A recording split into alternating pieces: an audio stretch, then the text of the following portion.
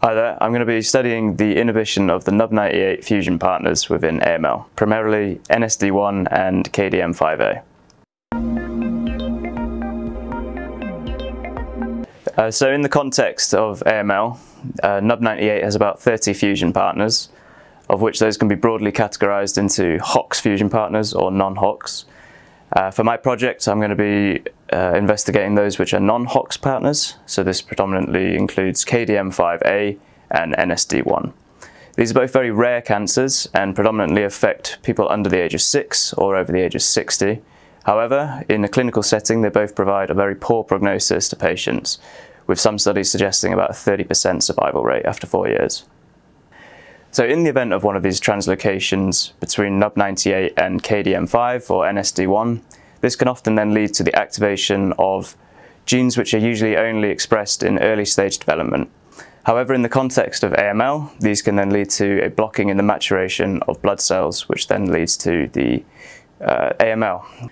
So my project will primarily be looking at means to inhibit these proteins, including NSD1 and KDM5. So I'm being provided with drugs which are derivatives of currently available commercial drugs which block KDM5 and NSD1. And these are being provided by our collaborators in Freiburg and those in the University of Vigo. And in order to test these drugs, I'm going to be testing them in cell lines, cell models, which have been provided by our collaborators in Austria.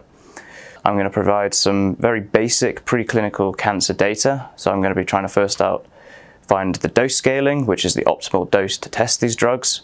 Then I'm going to take them forward to see whether or not they have any biological function. And then we're going to go into looking at the single cell RNA data.